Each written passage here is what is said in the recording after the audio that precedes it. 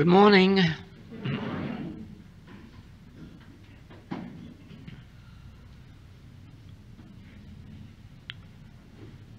On the other side of this tape that we are doing this morning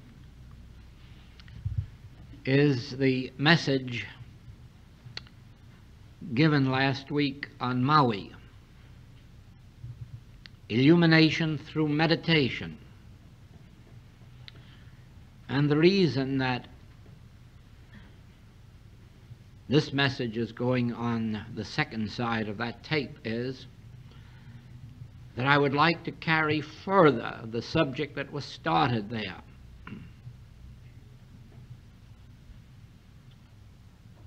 The spiritual path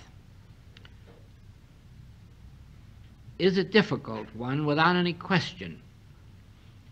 The Master warned about that when he said that the way is straight and narrow, and few there be, few there be that enter. Indeed, very few.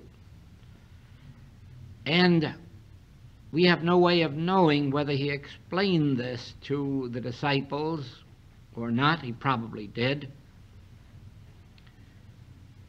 But the reason the spiritual path is difficult is that since what is called the fall of man, that is, since we entered material consciousness, or material consciousness entered us, our attention has been centered on the world out here.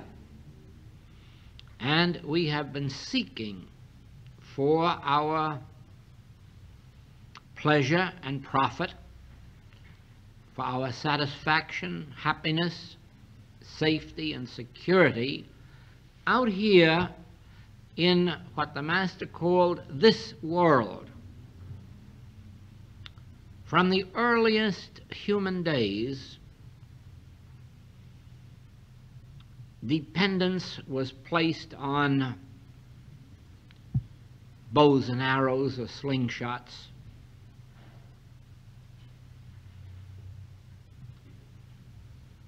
Swords, dynamite, gunpowder.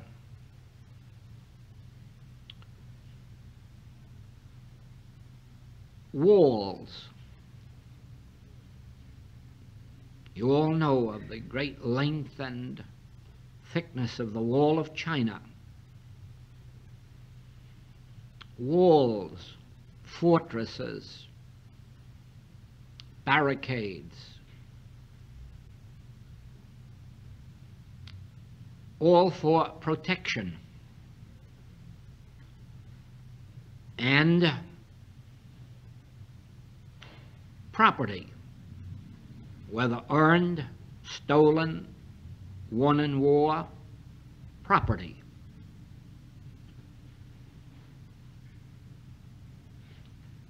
So that over the centuries we have developed a consciousness seeking always in the external for something to supply our satisfactions, our safety, our security, our peace, our supply, and our health. And when you make the transition to the spiritual path, all of this has to be reversed. This is uh, what is called dying daily, being reborn, surrendering oneself to God, giving oneself to God, yielding oneself to God. Or, in Oriental teachings, it's called non attachment.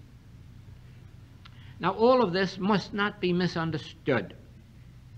In no wise does it mean that we do not eat food or require it.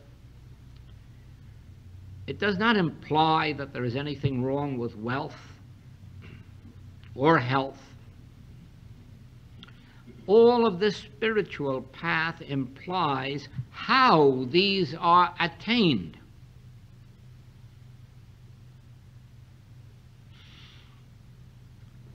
On the spiritual path, all attention is transferred from the visible to the invisible. And it is taught by the Master in this way I have meat the world knows not of, or I am the meat, the wine, the water, the resurrection. Man shall not live by bread alone, but by every word that proceedeth out of the mouth of God. I am come that ye might have life and that ye might have it more abundantly. Not the fortresses, not the bombs, not the storehouses of food, but the within, the inner self, the inner being, the inner substance of life. This is come that there may be an abundance in the outer, that there may be this protection, that there may be food and clothing and housing. Not, not as some believe, that we ignore these or claim they are unnecessary or that we're too spiritual to think about them. All of this is nonsense but rather that we understand that the source of good in our experience is within. And that as we turn our attention to that withinness, all the things are added unto us. We are led to them or they are delivered to our doorstep. The difficult part is in turning from the without to the within and there attaining contact with that source that does supply us with everything from our health, our longevity, our immortality, to the food we eat and the clothes we wear and the housing that we require. All these become the added things after we have found our inner grace, contact, In World War II, I had the pleasure, the privilege of working with, I cannot remember the number exactly, but it was in the 20s, 20 some children of students who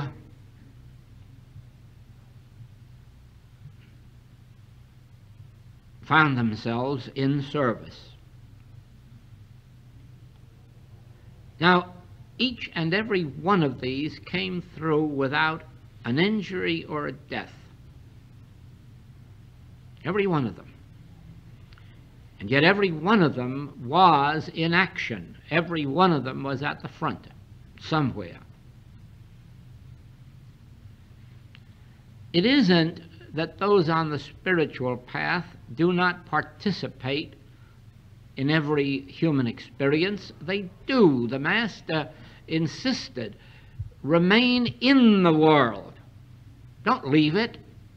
Don't try to live your life in monasteries or convents or up in mountain tops or by seashores out of the world, but remain in the world, but be not of the world. And he cautioned, remain in this city until you are endued from on high. In other words, remain right where you are, doing what you are doing, until you find yourself ordained, until you can feel that the Spirit of the Lord God is upon you, and that you can say with Paul, I live, yet not I. Christ, the Spirit of God within me, liveth my life. He performeth that which is given me to do. I can do all things through Christ, which dwelleth in me. But until we come to that point of illumination, realization,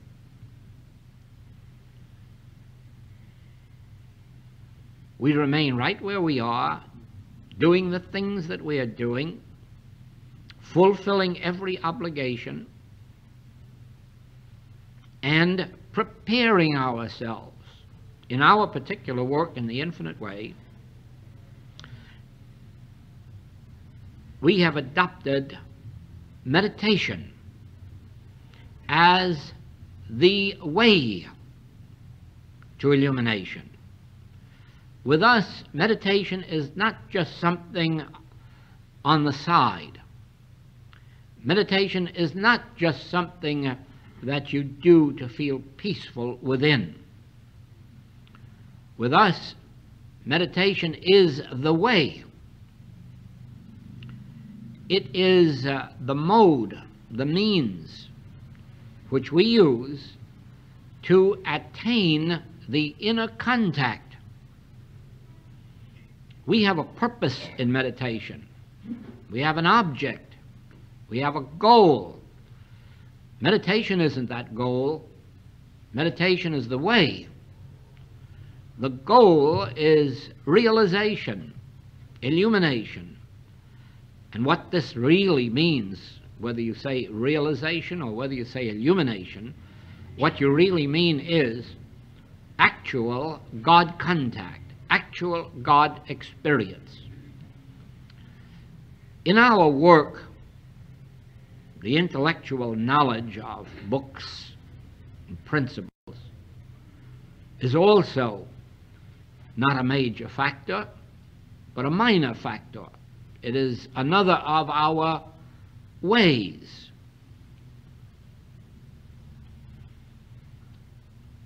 When uh, we learn the specific principles that operate in our message, it is not because we believe that learning them will accomplish anything of itself, but rather that working with these principles, we eventually open our soul center. We awaken that sleeping giant within us. We make contact with our source. Now,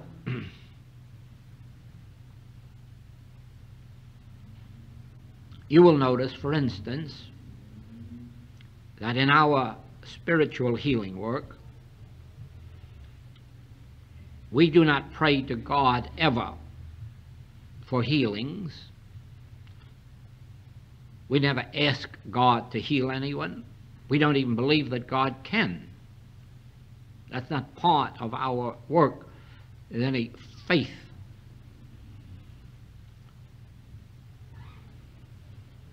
Our work is based on certain principles that have been revealed to me in connection with a long, long time of spiritual healing work. And the major principle is this that God knows nothing about sin, disease, death, lack, or limitation. And that there never has been a God to do anything about these.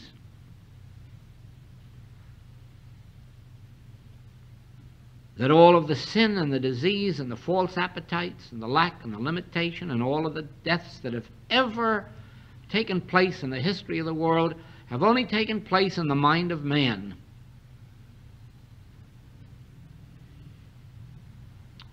And all because of a universal belief in two powers. The belief that there is a power of evil. In other words, a denial. All sin, disease, death, lack, and limitation is a denial of God's omnipotence.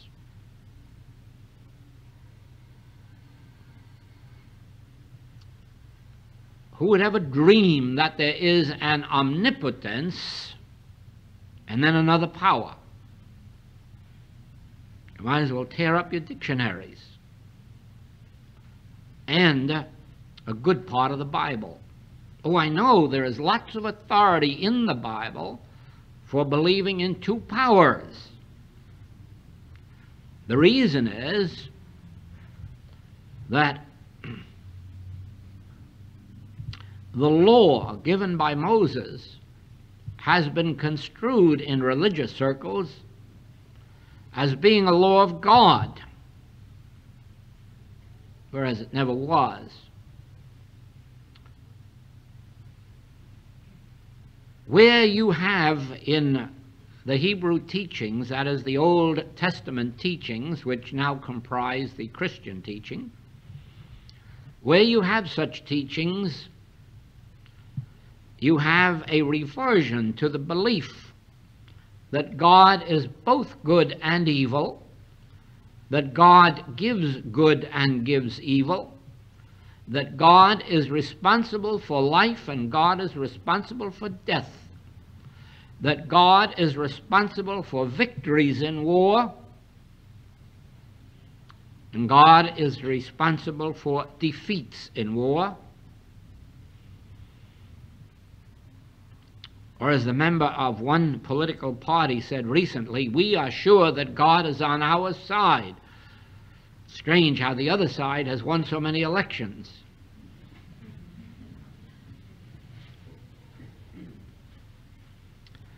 You see, lip service to omnipotence is not really the realization of the meaning of omnipotence. Even, even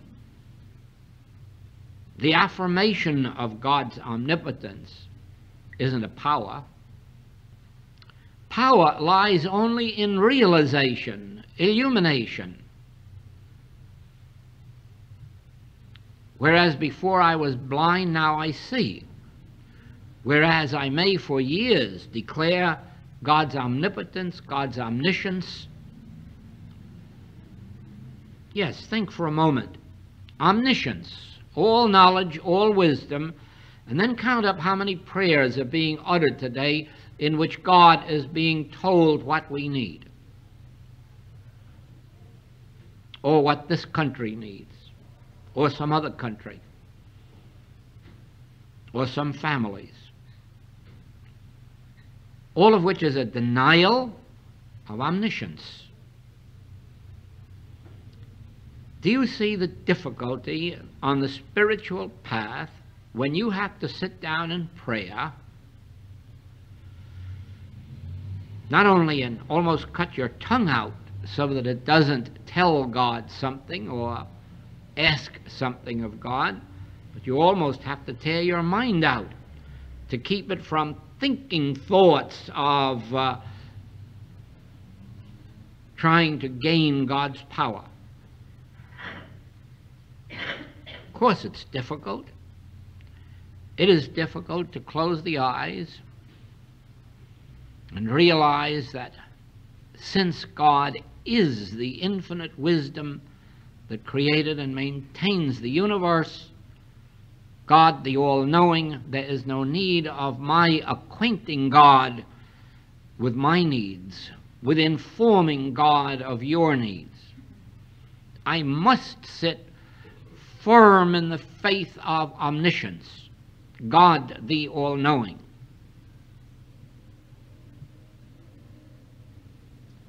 since I cannot accept any God except omnipotence. Certainly, I cannot ask God to be a power over some other non existing power, even though I may believe in another power. I may temporarily succumb to the belief that there is a power of sin, temptation, disease, lack, fear. But if I'm to pray, there must certainly be the recognition I am not asking a God power, I am acknowledging omnipotence. That is, that there is no other power. Therefore, I'm not seeking any God power. And if I am to be logical, I must conclude with omnipresence. If there is such a thing as omnipresence, and what else could God be if not omnipresence? How could there be a God absent from someplace? God must be omnipresence. Then just think that here, present where I am, the very place whereon I stand, right here must be this omnipresence, which is also all knowing omniscience, all powerful omnipotence. What more can I ask? Therefore, my prayer, my contemplation, must be a rehearsal within myself of the nature of God as omniscience, omnipotence, omnipresence, and because this is really not prayer, this is only a preparation for prayer, I must then come to the point of prayer. And that is, Speak, Lord, thy servant heareth. I am listening for thy voice. Not I will, I am listening for thy voice. I am receptive and responsive to thy will. I am receptive and responsive to thy grace. And then comes the stillness, the quietness, the listening attitude. Followed by an inner peace, the descent of the Holy Ghost, the ordination, the realization that the Spirit of the Lord God is upon me, and I am ordained. And now that the Spirit of the Lord God is upon me, this, this is my bread. This is my meat, my wine, my water. This is the Word of God that has been given to me, by which I live, by which I have life eternal. And so, prayer, treatment, contemplation, meditation, this is a way to lead us into an inner stillness, an inner quietness, into an altitude and an attitude of receptivity. So that we may feel the presence of the Lord God upon us. and then realize now the presence goes before me to make the crooked places straight. Now the Word of God is the substance of all form, the substance of my daily life.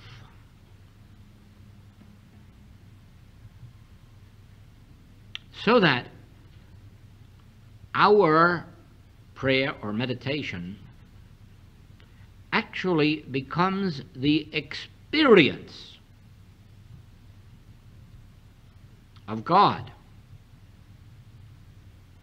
You can prepare for this through the activity of the mind in what we call contemplative meditation as we are now experiencing it here and now. But remember, that the actual God experience comes only after whatever words or thoughts have entered your period of contemplation and meditation, after these words and thoughts have come to an end,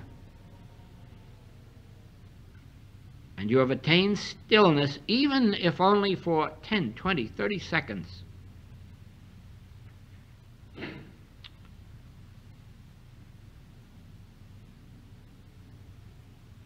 Now, as we continue this practice daily and as many times a day as possible, we find that eventually this inner peace does settle upon us, that a contact with our source is made, not through the mind, but through our awakened soul faculties or spiritual discernment.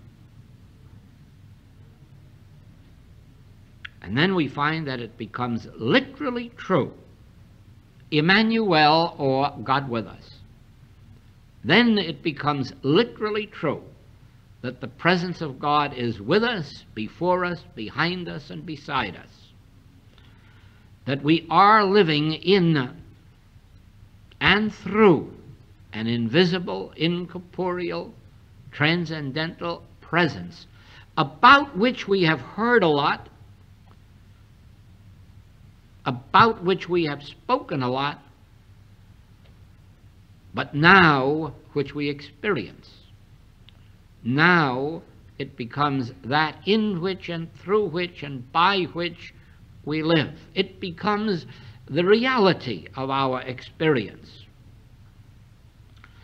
Nothing less than this constitutes the infinite way. Nothing less than this constitutes infinite way healing.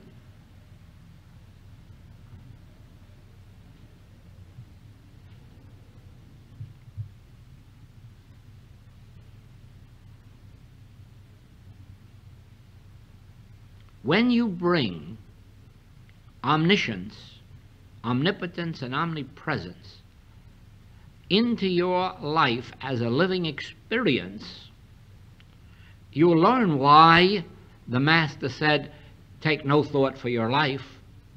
There isn't any need to take thought. God is imparting all that is necessary in the way of thought and deed.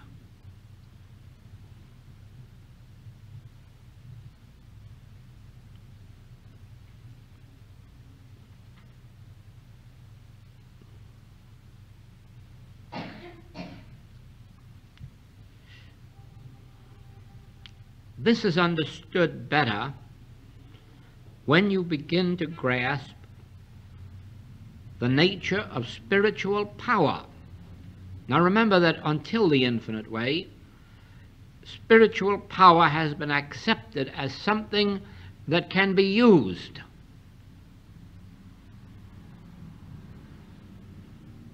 No one has ever used spiritual power and no one ever can use spiritual power, for that one would make that would make one superior to spiritual power. For spiritual power to function, there must be a complete absence of human power. There must be the complete recognition of the Master I can of my own self do nothing. If I speak of myself, I bear witness to a lie. There must be that complete acceptance of this so that spiritual power can use us. Spiritual power can function through us. We cannot use it, we cannot manipulate it, we cannot direct it toward anyone, to anyone, for anyone. We can only be the transparencies through which spiritual power can flow to this world. There's no room in, uh, on the spiritual path for ego.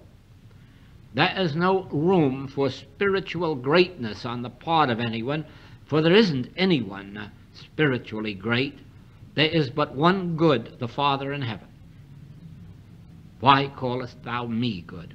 Why callest thou me spiritual? Why callest thou me anything? When all that I can be is a transparency through which God's grace reaches human consciousness. And this can only be in proportion to my acceptance of God as omniscience, the all knowing, so that I do not ever try to annoy God with my thoughts, my beliefs, my wishes, my desires, my hopes, until I can accept God as omnipotence, not as a power that overcomes sin or disease or lack, but as all power in the presence of which there is no sin, disease, death, or lack. And omnipresence, the acceptance of the revelation that if I make my bed in hell, thou art there. If I make my bed in heaven, thou art there. If I walk through the valley of the shadow of death, thou art there. Because of omnipresence. This means overcoming the religious superstition that if you have sinned, God has all of a sudden taken himself away from you.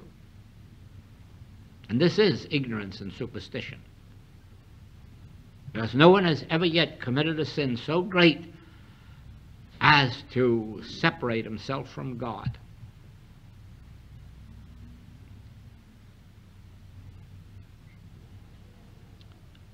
Any sinner, the most scarlet of sinners, like the woman taken in adultery, the thief on the cross, and anybody in between, can at any moment close their eyes and recognize omnipresence, omniscience, omnipotence. Even on the cross, the thief can say, O Master, and find himself taken into heaven. Even at the moment of being stoned to death, the woman taken in adultery can just look up and behold the Christ and be saved.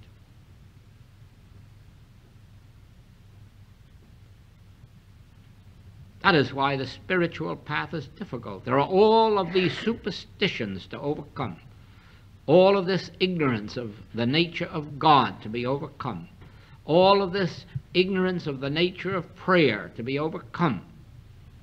Until we can close our eyes to the outside world, enter the inner sanctuary of our being and realize, here I am, Father, I and my Father here together, one.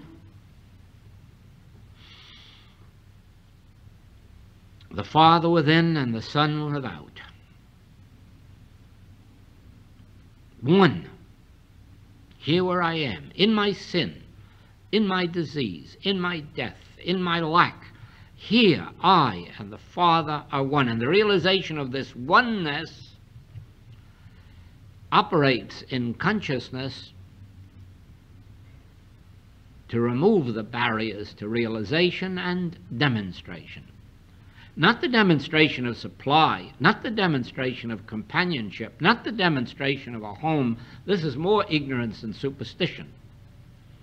There is only one demonstration, and that is the demonstration of the presence of God. And anyone seeking any other demonstration is delaying their spiritual progress and their physical, mental, moral, and financial harmony. Anyone who is seeking the demonstration of anything other than the realized presence is wasting time, their own time, valuable time in their own lives. Do not misunderstand. There is the mental realm and on that mental realm, it is possible to demonstrate health, supply, home, anything one wants in the human picture. There's no guarantee of its permanence, and there's no guarantee that it will be a blessing.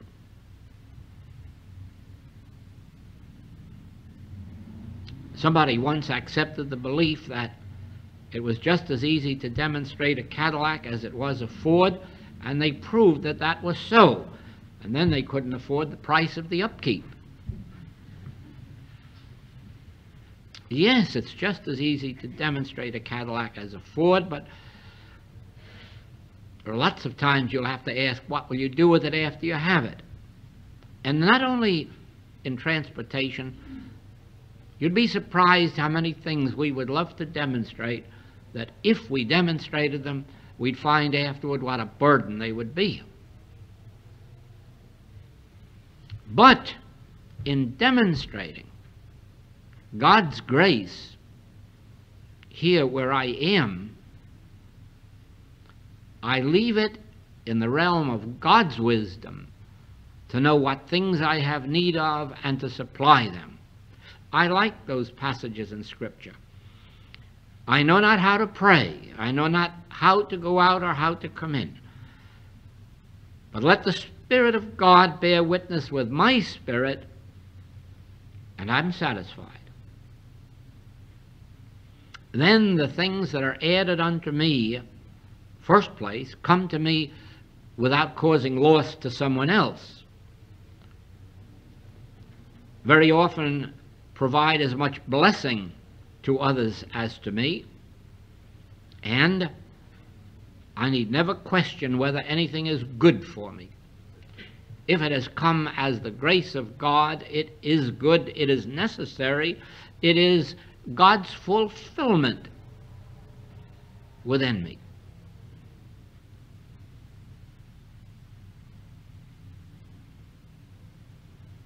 Illumination, then, really means the experience of God, the experience of the Christ, the experience of omnipresence, the experience of divine grace. All of this is illumination.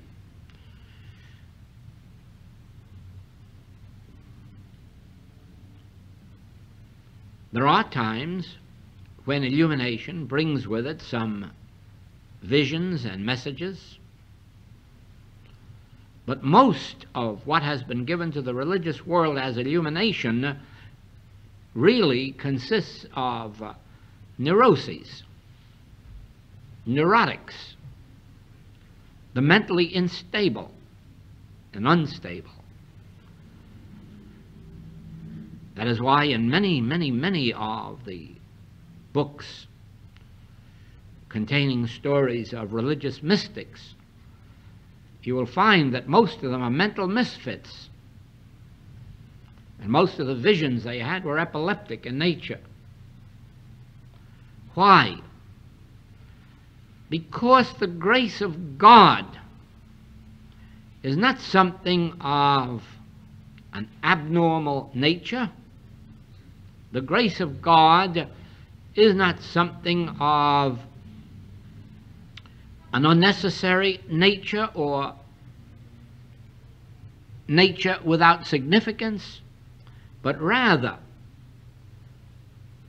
the grace of God is for the fulfillment of God's man on earth. The grace of God results in constructive principles, modes of life. Well, shall we go any further than the Master and see that the grace of God that was upon him resulted not in stupid visions,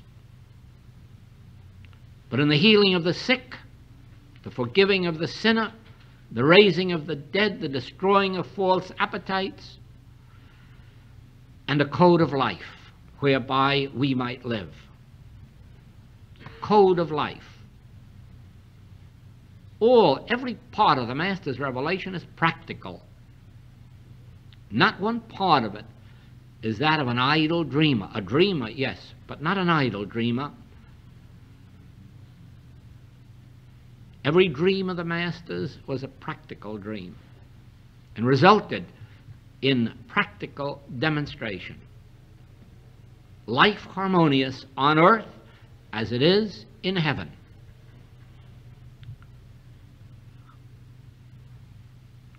It is natural that meditation will bring with it messages at times.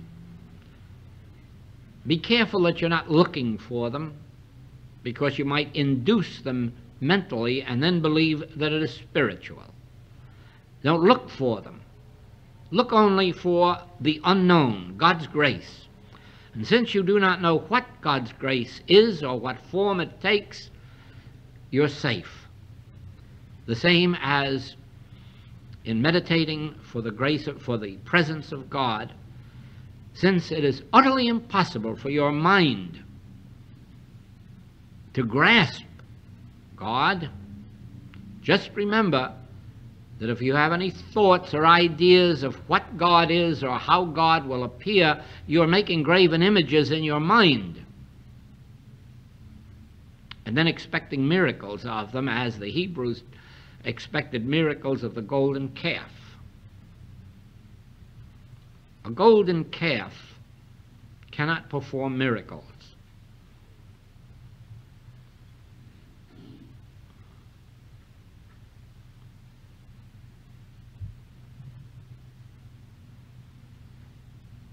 Not even uh, the golden coins in Fort Knox, in which so many people had so much faith and are wondering what to do now. When you meditate,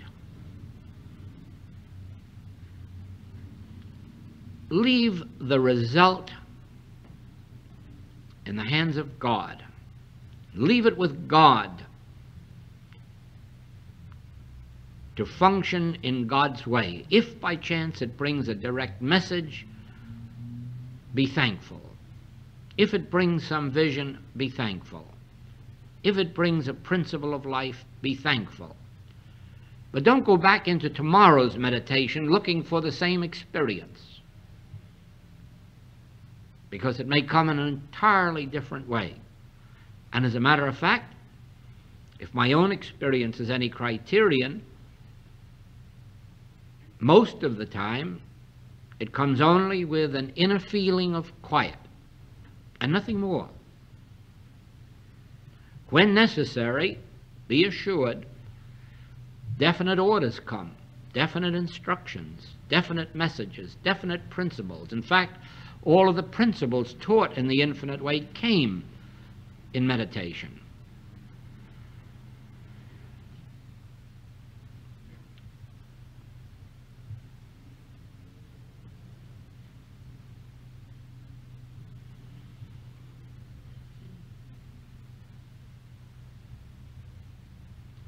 What this all adds up to is this. Once you attain the experience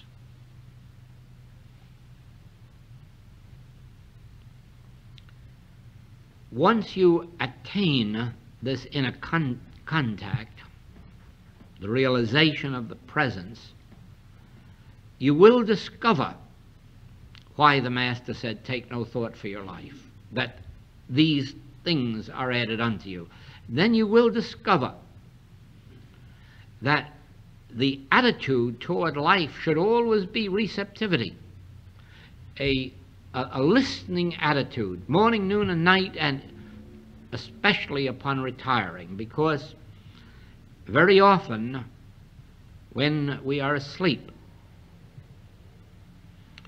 and the human will is not active, human desire, human hope, then uh, the very grace of God has a greater opportunity of entering our consciousness and performing its work.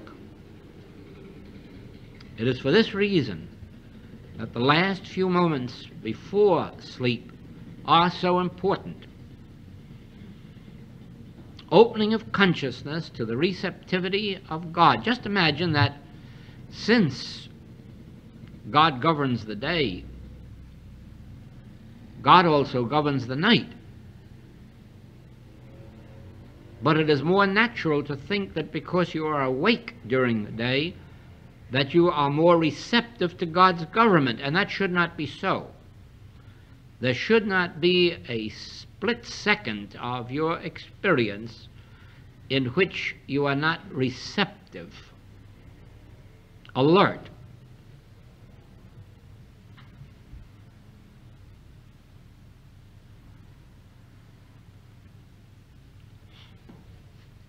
I have never forgotten the experience when,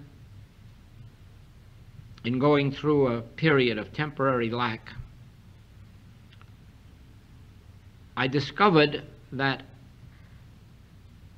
I needed $100, but I had $150 outstanding. And the first temptation was, oh, well, all is well, it's all right.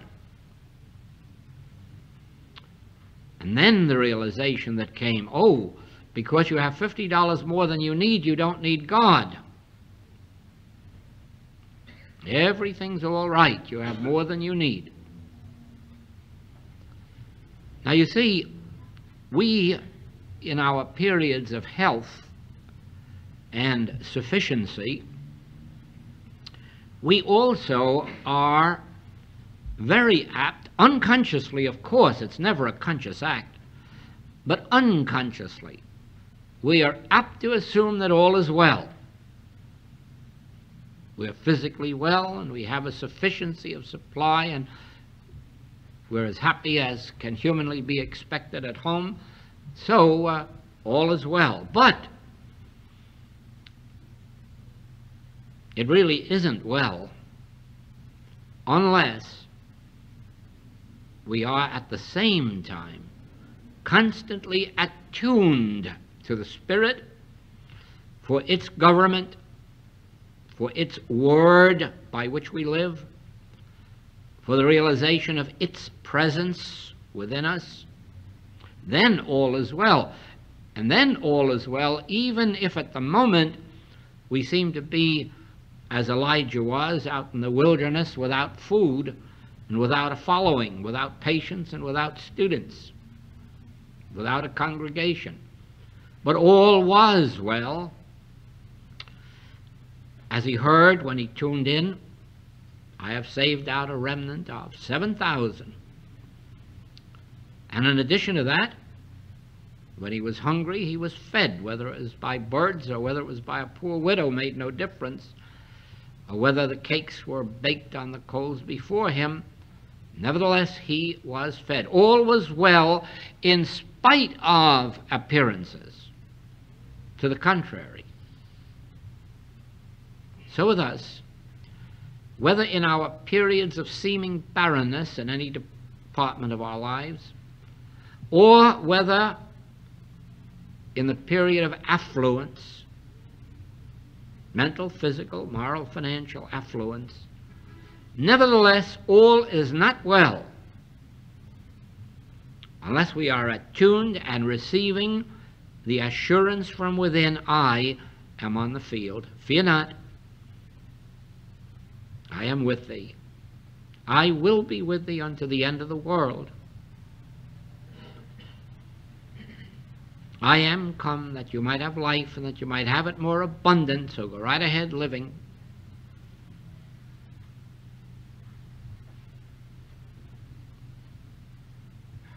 That is why in our spiritual lives,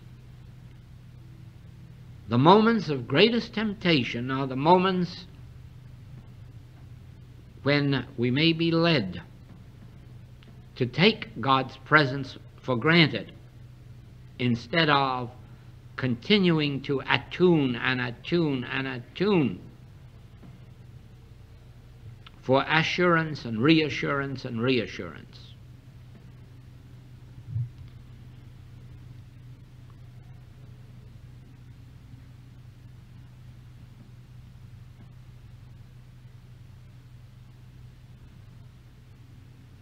Illumination reveals always that spiritual power is omnipresent in the moment that we are absent from the body, absent from thought, in the moment that ye think not the bridegroom cometh, and that God's power is the source, the substance, the activity of our daily experience. And it is for this reason that the true sense of humility can develop so that it isn't that you think you can do nothing, but that you know you can do all things through Christ. That you know you can do nothing without the conscious recognition realization of the presence. In the same way that we have been carrying the metaphysical teaching of uh, there is no power in error one step further. There is power in error. There is power in the world belief. Otherwise, we wouldn't have the kind of a world we have today.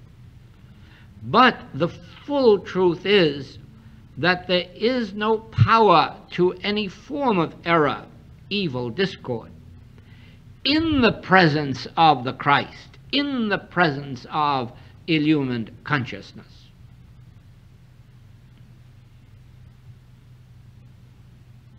If error in and of itself were not power, it would just disappear wherever it may seem to be.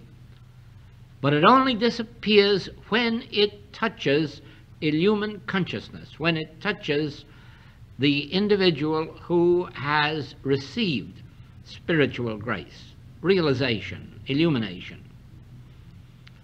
And it is for this reason, when you have any form of error to meet, to face, be sure that after you have made your statements of truth or affirmations of truth, as the case may be, that you do not rely on these, but rather settle down into this inner peace until you do feel that the Spirit of the Lord God is upon you, and then you can know no weapon that is formed against thee can prosper. No weapon that is formed against thee can prosper when you are in the presence of that divine grace, when you are in the presence of that inner spiritual assurance. A thousand shall fall at thy left, and ten thousand at thy right. Do you see the significance of that? Not that error isn't power. It is power to the thousand at thy left and ten thousand at thy right. It is not power unto thee. Ah, who is the thee? He that dwelleth in the secret place of the Most High.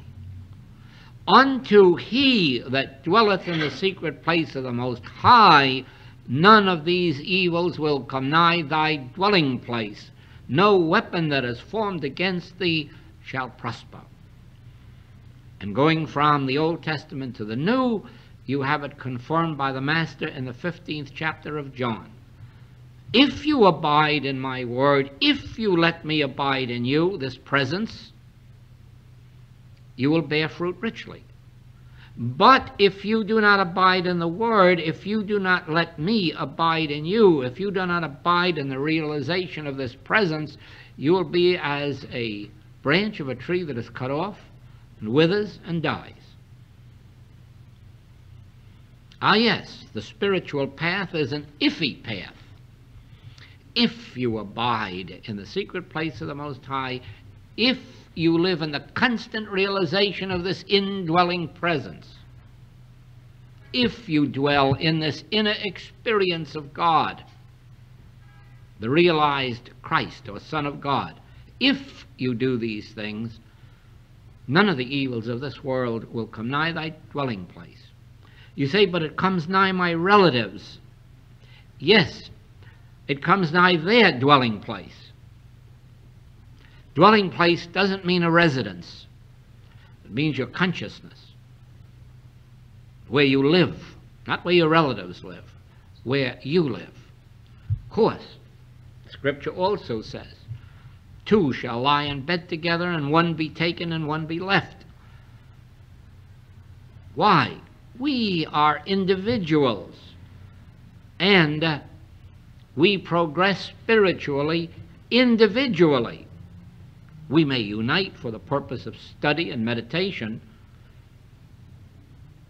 but we cannot unite to enter heaven. We cannot unite to enter God. That is an individual experience of your consciousness and mine. If you dwell in the secret place, these evils will not come nigh thy dwelling place. But doesn't say, does not say anything about the person sitting next to you or dwelling in the same residence with you, except that a thousand of them may fall at your left and ten thousand at your right. The spiritual life is an individual experience. The woman taken in adultery was freed, but she didn't free all adulteresses. The thief on the cross was freed, but he didn't free all thieves. Life is an individual experience as you are discovering. And the secret is I and my Father are one, but this truth does not operate until it has been realized within my consciousness. It is true that I and my Father are one. It is true that you and your Father are one, but do not expect any fruitage from that relationship until the experience has become yours. Then, then the fruitage appears richly. I and my Father are one, all that the Father hath is mine. Son, thou art ever with me, and all that I have is thine. And in the degree of my realization of this, so is it unto me and unto thee. Thank you.